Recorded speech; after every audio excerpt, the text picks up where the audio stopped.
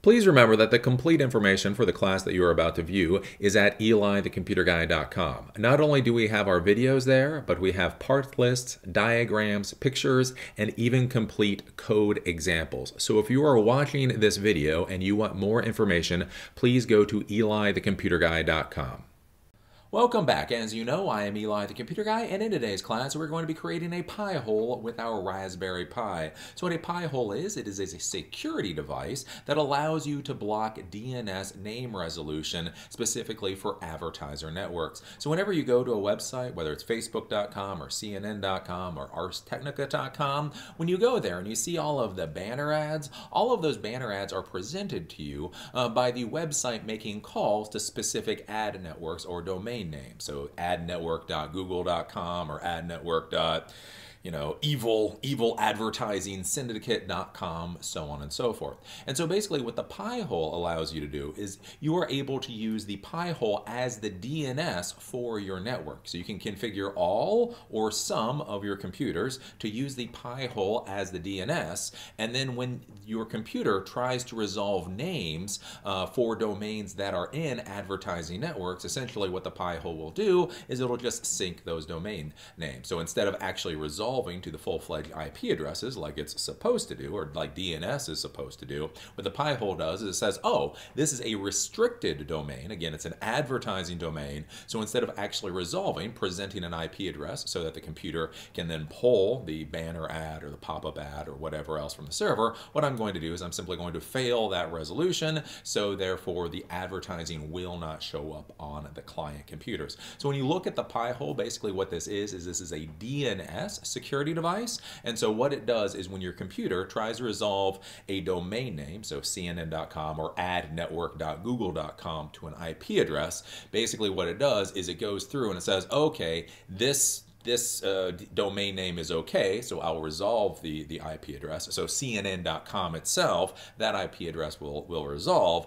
But again, adnetwork.google.com, oh, that is in our blacklist, that's in our restricted list, so we are not actually going to resolve that. So the computer will then not be able to pull the banner ads, the pop-up ads, all of that kind of stuff. So today I'm going to show you how to build a Pi-hole. It's a relatively simple process uh, and is something that you'll probably be very happy to have on your network. So there are a few warning warnings for today. There's one technical warning warning, there's one professional warning warning, and then there's one don't be a dummy warning warning. If you do the final one, I'm gonna come, I'm gonna find you, and I'm gonna be very, very snarky at you. But anyways, the first warning warning I would say from a technical standpoint is that if you are going to be using a Raspberry Pi for your Pi-hole, then you only use it for your Pi-hole. Basically, if you're going to be using a Raspberry Pi to be your Pi-hole, that it should be a dedicated little device. So a lot of times people really want to uh, add multiple things onto like single device or a single server. So you may want to use the Raspberry Pi as a Pi-hole and maybe a web server and maybe a file server and maybe a couple of other things. One of the things that I will tell you is you may run into conflicts, you may run into problems if you try to have multiple services on your Raspberry Pi, especially if you do not know enough to troubleshoot those problems. So I would argue with the Raspberry Pi and a Pi-hole, just buy an inexpensive Raspberry Pi, install the Pi-hole onto it, and then just leave it in a corner. Leave it in a corner, update it every once in a while, and otherwise uh, don't mess with it. The next thing that I uh, want to talk about is from a professional standpoint or from like an infrastructure standpoint to be thinking about how do you actually uh, really want to be using the Pi-hole. Now how they suggest you use the Pi-hole is not how I would recommend you using the Pi-hole, at least in the beginning. So it's important to understand that with the Pi-hole, the Pi-hole can actually be a full-fledged DHCP server and it can act as the primary DNS for your local area network. So what you can do is if you have a router, you can turn the DHCP and the D DNS off on your router and then on the Pi-hole, you can turn the DHCP on, you can create your subnet masks, you then make the DNS the Pi-hole itself, and then you make the default gateway, whatever the router is, and now uh, your little Pi-hole is then providing all the DHCP, DHCP services for your local area network, it is then presenting itself as the DNS for the local area network, and again, it's presenting the router as your default gateway. I would be careful about doing this initially, because if you do this, and you're not really comfortable with what's going on here, you're not really comfortable with networking, you're making a primary device for your network. You're making your main DHCP server for the network be this little Pi-hole. And if you don't really understand how subnet masks work, and you don't really understand how a couple of other things work, you literally could basically shut your entire uh, your network off of the internet. So I would be very careful with that. Uh, one of the things that you can do is you can set up your Pi-hole, and basically it's a DNS server. And then one of the things that you can do is you can simply then point individual clients uh, to that Pi-hole as being the primary DNS server. So you can go into the manual configurations. I'll show you that today. And instead of using the the uh, the Pi-hole as the full DHCP server, you can simply set it up as DNS and then connect connect your clients, your individual clients, to that DNS server, having them be a primary, uh, the primary DNS for that particular computer. And so that way you can play around with this, you can make sure it works. Some, some computers can be using it for DNS, other computers cannot be using it for DNS, and basically that way, especially when you're in the, the troubleshooting, playing around phase, you don't have to worry about shutting your entire network down. Again, especially I know a lot of my viewers are young, maybe you're, you're setting this up up on the uh, your home network, say the network that your mother, your father, your sisters, your brothers, all of these people are using. Let me just say, if you set up the Pi-hole as a DHCP server and you're really not sure what you're doing, your family's not going to be happy with you. So, in the beginning at least, do not set it up as a DHCP server. Simply set it up as a standard DNS server. I'll show you how to do that. And then manually configure your computers to use it for DNS and then go from there. And then once you feel completely comfortable, then you can deal with a larger network. The final thing, uh, the final warning that I'll give you is the don't be a dummy dummy warning is that a lot of people, when they look at security, they're always looking for that one security device, right? I want to plug this one device into my network and I want my network to be secure. That's not how security works in the real world.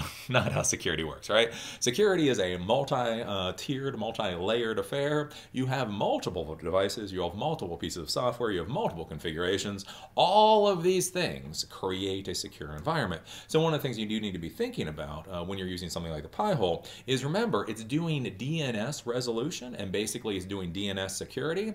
So if you try to resolve adnetwork.google.com uh, to an IP address, it'll sink that that. So instead of actually resolving to the IP address it should, it will just fail it out. But remember, remember, that's DNS resolution. If for some reason the ad network that's being presented is simply present, being presented with an IP address, so you're already getting the IP address, you don't actually need the DNS resolution, then any ads being presented by simply an IP address, that will sail on through because remember, what the Pi-hole is doing is it's dealing with DNS security. And so DNS is resolving domain names to IP addresses. If the server, if the website that you're going to is already presenting you with an IP address, then you're going to skip that DNS resolution process because you don't actually need it to work, and therefore things like banner ads and that kind of stuff will pop up. So this is one of those things that you have to be thinking about in the real security world. Again, with all security devices and software and all that kind of thing, they try to solve specific problems, and they try to solve like the biggest problems, uh, but there are ways to slip past these types of things, and so you just have to be careful about that. So if you're sitting there and you, you set up the Pi-hole and you have all the blacklists up there and everything's, you know, everything seems like it should be configured, and then for some reason when people go to particular websites, they're still getting banner ads, they're still getting pop-ups, and you're like, why is this happening? Why that might be happening is basically they're getting pointed directly to IP addresses instead of having DNS resolution, and therefore the Is basically just uh, just gone around and it's not worried about. So these are some things uh, to be thinking about. Um, again, with all these types of devices, be very careful when you set it up on your network. Again, especially if this is your home network or if you have roommates or anything else, this is the type of device that can take over services for the entire network. And if it's set up properly, that can be a good thing. Uh, but if you screw something you screw something up, it can be very, very bad. Again, if you just simply fat finger what the default gateway is, you know, instead of 192.168.1.1 is what the default gateway might might, might supposed to be. Uh, you know, if you do 192.16.1.1, now all of a sudden every computer on the network that grabs a DHCP address from your Pi-hole is now going to have the wrong default gateway, which means none of the computers that have grabbed an IP address uh, will be able to get out to, on, get out onto the internet. So be very, very, very careful with that. So with that, let's go over to the demo computer. Um, I'll just show you the website, which has the information for the Pi-hole. Then we'll actually go over to the Raspberry Pi itself, and we'll set up the Pi-hole and show you how all of this works. So here we are at my demo computer, and I've just simply gone to pi-hole.net, and this brings you to the Pi-hole website. You can scroll through here. It has a bit of information for you.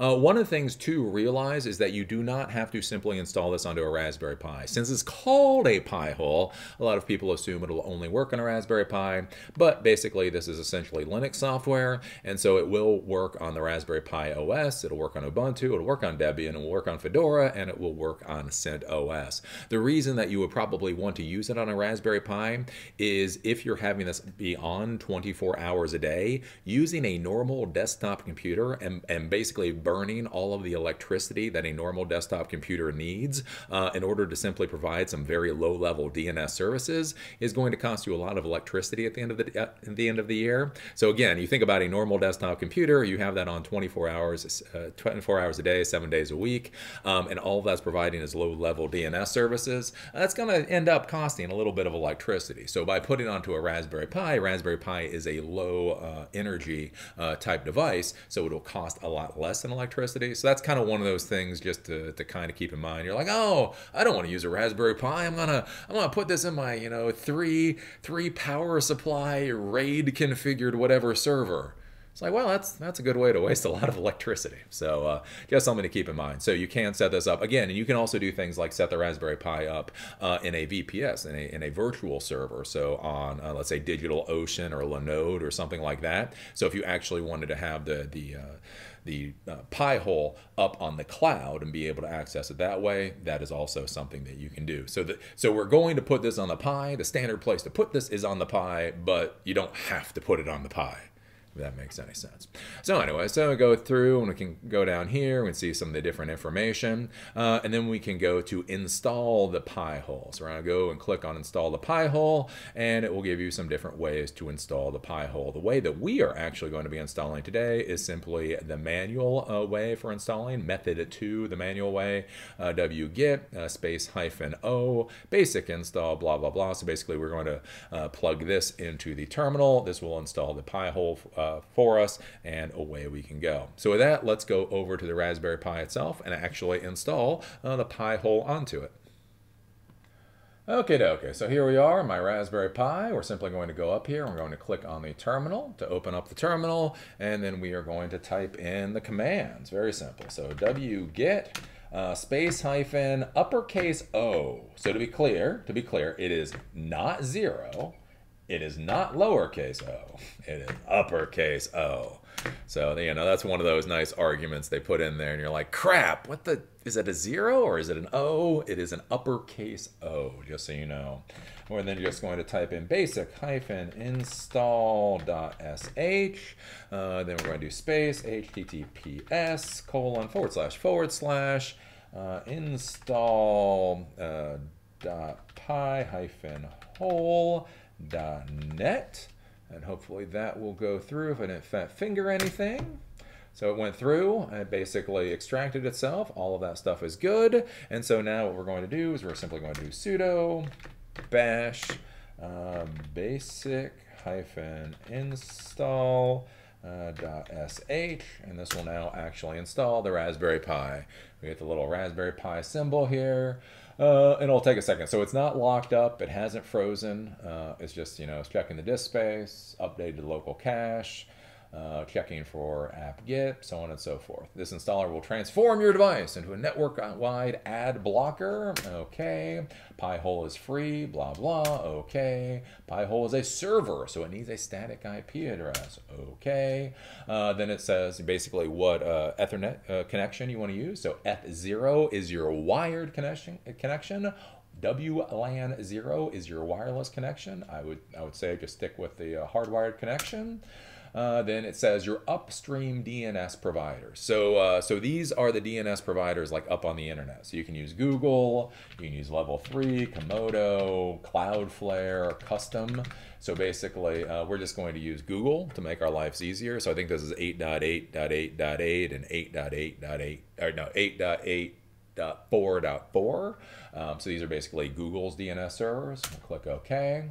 Uh, and then basically, in order to block the ads, to be able to sink, do the uh, DNS resolution, figure out what DNS is good and what, what domain names are bad, it uses third-party lists. So it says, do you want to use these particular lists or not? We're just going to uh, tab down and say OK. So we want to use all of these lists. Uh, select the protocols that you want to block. Um, so IPv4 and IPv6 is fine. Uh, we're just using IPv4 really, but yeah, whatever. Uh, and then it's going to say what your current network settings are. So we can say here that my uh, my IP address, this is what I actually grabbed from my DHCP server, is 192.168.1.23 with a class C subnet. Uh, so a, a, slash 24 is a class C subnet, uh, 255.255.255.0, and the gateway is 192.168.1.1. So what we're going to do here is I am just going to uh, basically uh, manually change this and I'm going to say 5. So what I want to do is I want to have the, D, the IP address for the Pi hole is going to be 192.168.1.5 and I'm going to leave it as a slash 24. Uh, so don't don't screw with the slash, don't screw with the 24. Just just modify just modify that number right there. Uh, then I'm gonna oops click OK. Okay, enter your desired default gateway. So we're just going to keep it at 192.168.1.1. Going to click OK. So is this correct? Yes.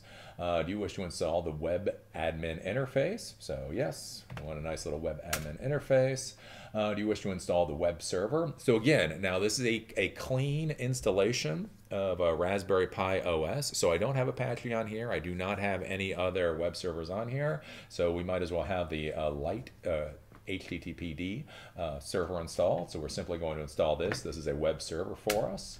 Uh, do you want to log queries? Yes, we want to actually log things. Uh, select a privacy uh, mode. So do you want to show everything? Do you want to hide domains, hide domains and clients, blah, blah, blah. I want to show everything. But to be clear, this is something that you should be thinking about with the security policies for your organization. So if you are setting this up for an organization, so if you're setting it up for yourself, just log everything. log everything. If you're setting it up from your home, hey, log everything. See, see what your brother's looking at.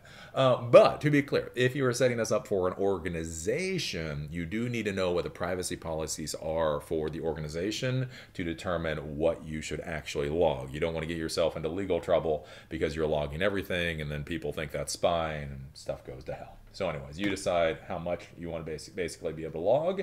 Uh, then we're going to click OK. It's going to go through here. It's going to figure uh, finish configuring everything. Um, and you know, this just takes a couple of seconds. So the nice thing with the Pi hole is if you're not explaining it to somebody, if you're just going through and actually setting it up, you can literally have the Pi hole like completely set up in just a few minutes. It really doesn't take that long. Uh, so this is going through, it's doing a little cleanup, creating the configure file here. So you can, you, again, you can see it's using PHP. So just something to think about. It's going through, creating the configs.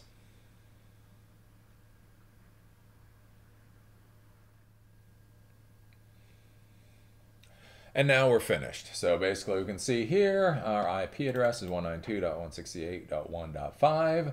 Uh, we can come down uh, in order to connect to the admin interface. We will go to HTTP 192.168.1.5. So basically if you go to one of the client computers on your network, you're able to access the interface for the Pi hole there. And then this right here is the password. So make sure you don't lose this. So we're just going to sit, do this copy.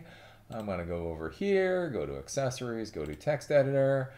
I will then uh, paste and then I'll do file, save as, and you know how security conscious I am, I would just save it as the password. Uh, so again, that is one of those important, stupid things. If you know, a lot of times when you go through and you're installing, you're installing something, you just do okay, okay, okay, okay, okay, okay, okay. Before you hit the OK, make sure you actually grab this uh, password here or you're going to be locked out of the system and you're going to have to go through the installation process again. Uh, so past that, we're just going to simply do OK and we can see installation is complete and now I can close out of the terminal. Uh, if I want to go and I want to actually access the web admin panel from the Raspberry Pi, I can simply go up here, open up the, uh, the web browser, close that.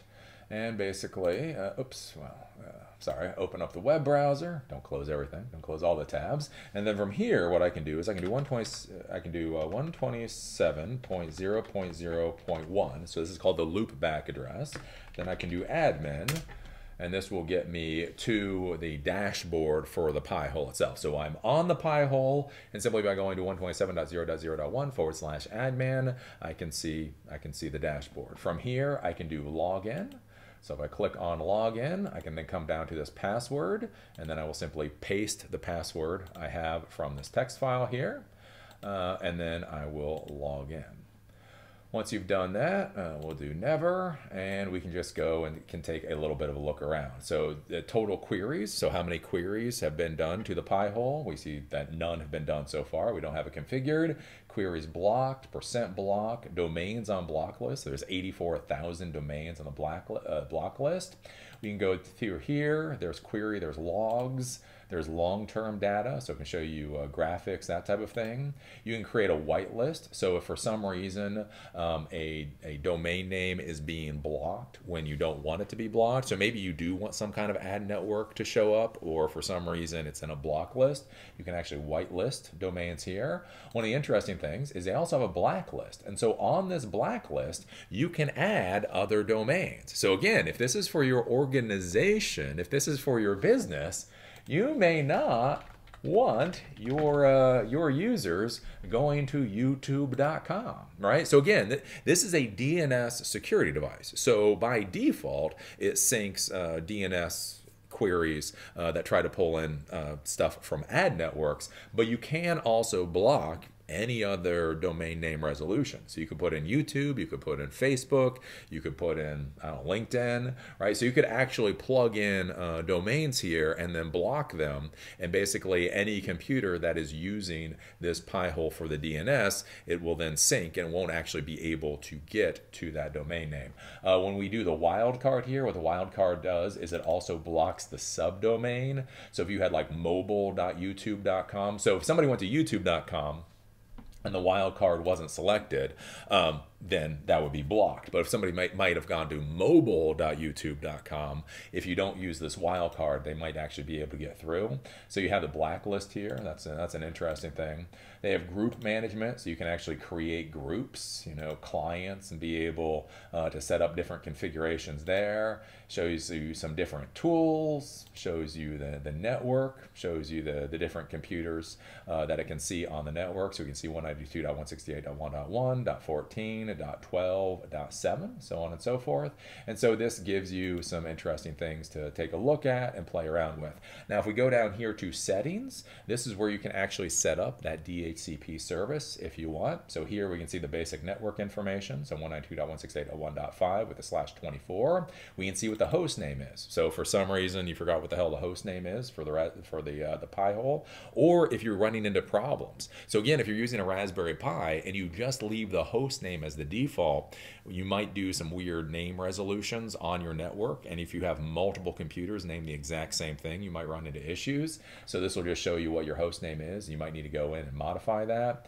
Uh, shows you um, when the Pi-hole was started, shows you some other information here shows us some block lists we can deal with, DNS. So basically, this is the upstream DNS servers. So if you're trying to get to CNN.com or basically, you know, Google.com or anything like that, what upstream DNS servers will you use? So we're using Google's upstream DNS servers. This is the DHCP server. So we can enable the DHCP server. Now it's very important, very important. If you enable the DHCP server on your Pi-hole, you need to turn off the DHCP server on your router. So whatever is currently acting as a DHCP server, you need to turn it off and then you turn on the DHCP server on the Pi-hole. If you have two DHCP servers running at the exact same time, ha ha! That is that is uh, that is fun in all the wrong ways. You're going to have a lot of fun troubleshooting all of the issues. So remember, only one DHCP server at a time. Uh, range of IP addresses to hand out. So basically, this is the scope. So you can see here, this is handing out from 192.168.1.201 up to .251. So if that's what you want to do, what the default gateway is, 192.168.1.1, uh, the Pi-hole domain name, some of this other stuff, basically the lease time here, and there's some other information here. So basically, this is what you would set up if you want the Pi-hole to then be your DHCP server, and this would then provide the IP addresses, the DNS uh, name, and the default gateway uh, number uh, to all the clients that are connecting on your network. Then you got some other stuff here, so some web API uh, things if you want to play around with that. You got the privacy, again, DNS resolver privacy level. Uh, so what we have is now is show everything and record everything, gives maximum amount of statistics, but then you have these different levels. And so what you do here is based off of your particular organization. If your organization has particular privacy policies, then you make sure that this goes with those particular privacy policies. And then we have teleporter over here. Basically all this is, is this is an import export uh, utility for the Pi-hole. Uh, so if you want to switch to an, another device, let's say, and so you want to export your Pi-hole settings, you can export the settings here, or if you want to then import the, the Pi-hole settings into another device, you can then choose the file and import doing that. Um, I, want, I do wonder how much you would actually use this type of thing, but the teleporter does exist. So this is basically the overview of what the Pi-hole looks like. So let's go back over to my demonstration computer and I can show you how to configure the DNS so that we start using the Pi-hole for the DNS and I can show you what it looks like once you've started using the Pi-hole for the DNS. So here we are back at my demonstration computer. So again, this is a MacBook Pro running Mac OS. I'm using the Safari browser. But to be clear, DNS and web browsers, at least when, when dealing with a Pi-hole, are essentially the same. So if you're using Windows with Edge or Firefox or whatever else, using the Pi-hole will still block that DNS resolution to the ad networks, uh, the same as if you're using a MacBook Pro. So let's go up here, and uh, currently uh, my DNS is being resolved by the router on my network. So 192.168.1.1, that's my default gateway and my uh, and my DNS. Uh, so if I go to CNN.com currently uh, using Safari, we can see that a whole bunch of ads will show up. Uh, so we can see that we got a nice little uh, banner ad up here with Don Lemon. If we come down here, we can Pearl Cozy Shoes. We got some mask advertisement, all that kind of thing. So not only are ads showing up, but tracking is happening. All kinds of things are occurring when these types of banner ads uh, show up on a website. And so we want to block those ads from happening so that we don't have to see them. So what we're going to do here is we're going to quit Safari. And then we're going to simply go up. We're going to go to Open Network Preferences. And then we are going to modify the DNS server, the primary DNS for this particular computer. So again, if you're in the Windows world or the the Linux world will be slightly different, but hopefully if you're watching this class, you know how to change your primary DNS server. We're simply going to go to advanced. We're going to simply click on DNS. And then for me, I'm going to 192.168.1.5. So that is the DNS server. That's the, uh, the Pi-hole, the DNS server, the Pi-hole that we created. I'm going to hit plus, so that's there. Then I'm going to do OK. Then I'm going to do apply and then I'm going to close out of the system preferences. And so now 192.168.1.5 is the DNS server for this particular computer. So when it goes to CNN.com or any other website, basically those most of those ads should not show up. Now, one of the things I'm going to do next, you can't really see this, but maybe you can hear it. I'm going to unplug my network cable just so things get flushed out and then replug my network cable. So if you heard that click, I was replugging in the network cable. One of the issues you can run into is do remember your computer caches certain types of information such as DNS resolution. And so, if you don't restart your computer or reset the network card or possibly unplug the network car- the network cable and plug it back in, when you go back to use your web browser, it may have DNS resolution uh, information already cached, and so it may appear that your Pi-hole isn't working. And it's not that your Pi-hole isn't working; it's that your web browser has cached certain information. So, disable, re-enable your card, uh, basically disable, re-enable Wi-Fi, unplug the network cable, do something to make sure and try to clear out that cache. Uh, so from here, we can simply go to Safari. Uh, we see this pops up. Again, it looks normal now, but if we go to, let's say, cnn.com, we can now see that CNN.com is going to look different for us. So we can see that there is no big banner ad at the top. If we scroll down, this is this is the space where the ads were before. So this is where banner ads are showing up. This is where tracking things were occurring, so on and so forth. And basically, you can go, as you, as you go through, you can see that there's a lot of blank spots here, and those are the spots where there would be advertising, and that is now simply being blocked because of the uh, of the uh, the Pi-hole. But but one of the things I will show you is again, the Pi-hole is not a perfect solution for things like advertising. So you can see this LendingTree ad right here. So this is getting through the Pi-hole system. So to be clear, using the Pi-hole will get rid of a, a lot of issues. It won't get rid of all of the issues though. So with that, let's go back to the Pi-hole and actually take a look at uh, what the charts look like, what the stats look like now that we're actually using the Pi-hole, just so you get an idea of that. So here we are back at our Pi-hole, our little Raspberry Pi, and we can start to see that it's doing its work. So total queries, we can see we have two clients. Uh, we can see the number of queries blocked, 199, uh, percentage blocked, 57.3, so on and so forth.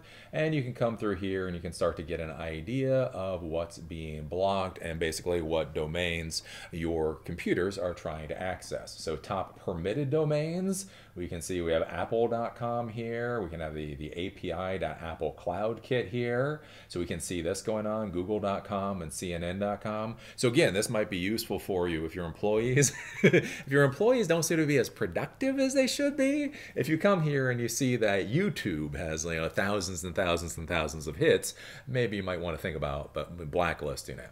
Uh, again, top blocked domains. So we can take a look here. We can see data.cnn.com is blocked. We can see adservice.google.com is blocked. Amazon ad system is blocked. So we can see, like literally, literally, I, I only set this up and went to cnn.com. That's it. We can already see how many uh, domains are actually being blocked from this. Uh, you can click on the domain. You can see some different inf inf uh, information here. So things like the client. So if you look at a domain and maybe it looks like a porn domain or something, you can click on it and then you can see what clients are going to it. If everybody's going to it, then you probably know it's just a general thing that's out there. If only one of your client computers are trying to access that domain, then it may be a problem. Uh, so you can come here, you can take a look at it it. If you want to click on the whitelist, so you can actually whitelist um, that if you know if there's like a domain that you realize oh somebody actually needs to be able to access it they can you can click on the whitelist there uh, past that, we can go up here to the query log. And so with the query log, this will show us in more or less real time uh, what's going on with the DNS. So domain, uh, uh, time hyphen uh, Mac OS, apple.com, 192.168.1.1. We can see the status is okay. So it actually went through. Um, if for some reason I wanted to blacklist this, so again, maybe it's YouTube or Facebook or something specific, I could actually click on the blacklist here.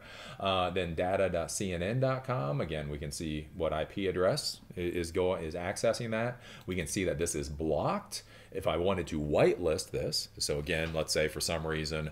Um, I wanted people to go to that domain name. I could actually whitelist that there. And basically you can just simply scroll through here. You can see all the, there's numerous different pages. We can click on the search. So let's say CNN. So if we wanted to see just stuff that has to do with CNN, we can see that type of thing here. And basically you can get a little bit better idea of what's going on with the DNS.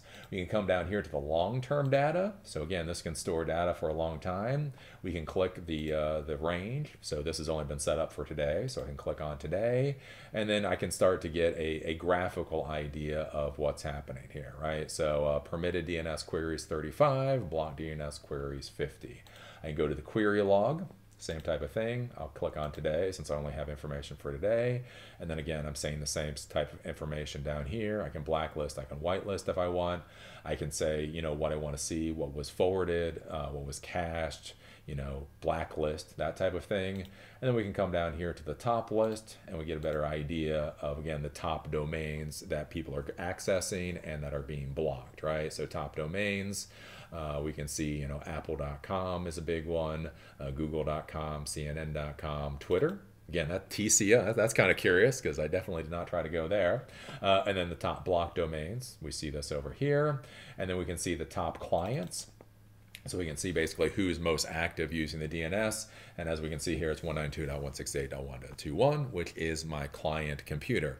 So this basically gives you a bit of an overview of what the Pi-hole will do for you. Again, it can be a very valuable tool as a part of your security infrastructure. It's not the only thing you need for your security infrastructure. And do remember, if websites are using IP addresses instead of domain names, uh, it can go right past the the uh, the Pi-hole because again there is no DNS resolution if there's already an IP address.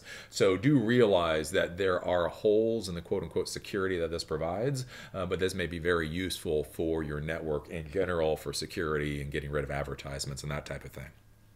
So there you go. Now you know how to create a Pi-hole and you can try to protect your entire network from all of those nasty little advertisements and banner ads that show up. The nice part about this is this is not a browser extension that you have to install on all your computers. This isn't, again, some kind of software or whatever you have to install on all of your computers. Basically, this is DNS level blocking. So if you, if you set it up so your client computers are using your Pi-hole as the DNS server, essentially all that happens is when, when, when IP addresses for those ad networks are requested, the Pi-hole will simply sink those requests and then the banner ads and all that stuff will not show up. It's not, it's, it's not a panacea. It does not fix all problems with tracking and ads and all that kind of stuff. But especially if you have a network of 10 or more computers and you just want a nice, simple baseline uh, DNS type security uh, apparatus, I think this is a, is a very valuable and a very useful thing to have. Now, again, in the real world, you do need to decide whether or not you really want to set up your Pi-hole as your primary DHCP server for your network. So you can set up the Pi-hole as a DHCP server, you can set up your DHCP scope, you, it obviously will provide itself as the DNS, the primary DNS, uh, and then you can plug in the default gateway.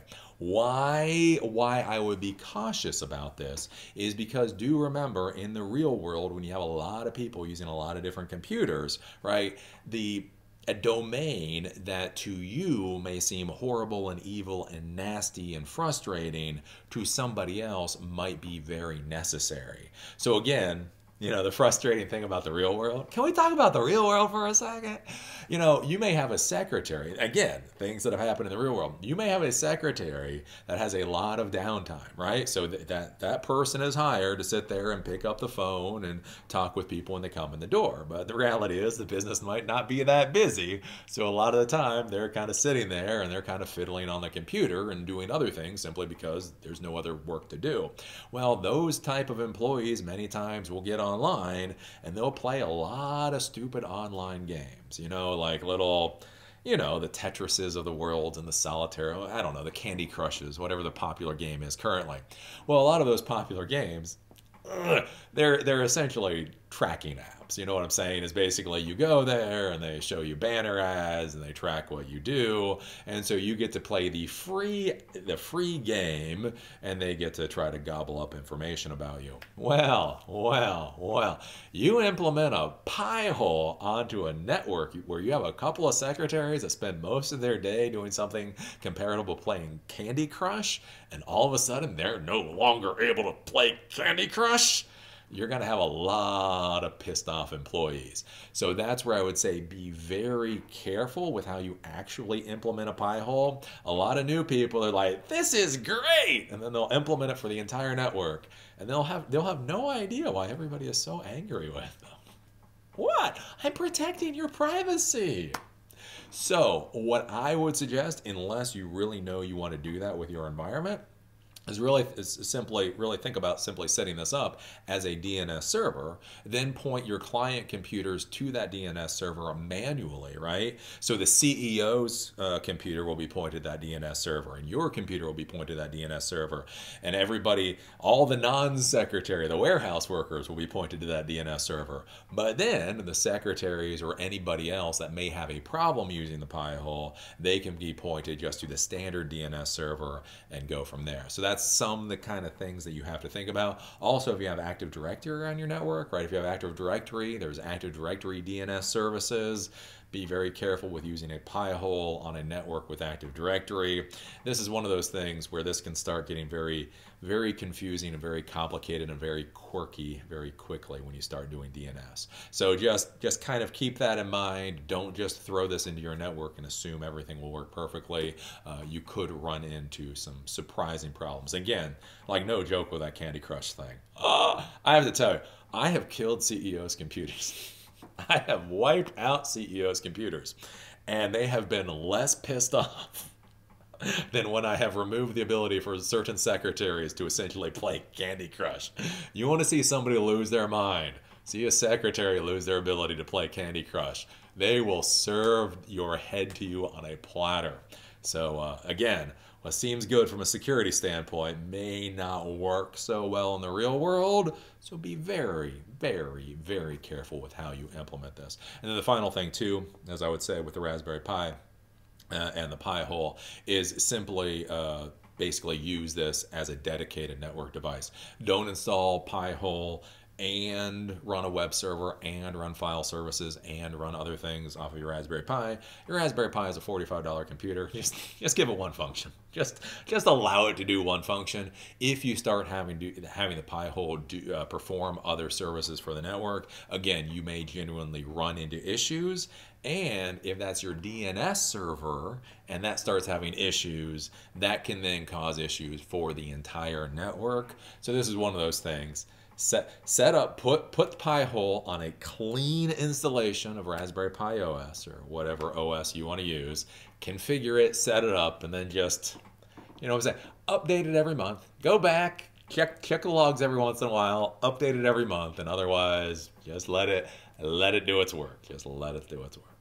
So as always I enjoy doing this class. Look forward to seeing the next one if you like the content that I create, please think about going to elithecomputerguy.com and becoming a member or donating. Please understand that all the educational videos are in front of the paywall. That includes the videos, that includes the notes, the diagrams, and the code example. All of that is freely available and in front of the paywall. But if you want to watch opinion videos or if you want to be able to comment, you do need to become a member. Membership is $5 a month or $60 a year and gives you access to those opinion videos and the ability uh, to comment. If you don't want to become a member, you just want to give a one-time uh, donation, there's also a donate button where you can do that. Please understand, in order to provide the education that I am, it does cost money servers cost money, equipment costs money, travel costs money. All of these things cost a reasonable amount of money. And the fact of the matter is, is YouTube's advertising program no longer supports creators the way that it used to. So if you want to these classes to continue to stick around and you find them to be valuable, please think about either becoming a monthly member or donating a few dollars for this project.